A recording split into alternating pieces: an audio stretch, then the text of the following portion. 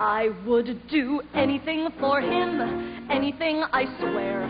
Give up food and water, shave off all my hair. There's not a thing that I am fearful of. I would do anything, anything for his love.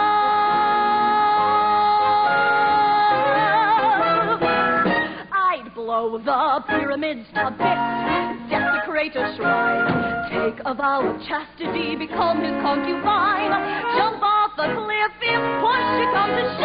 I would do anything,